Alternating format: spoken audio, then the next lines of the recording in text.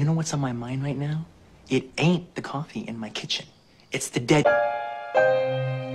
in my garage.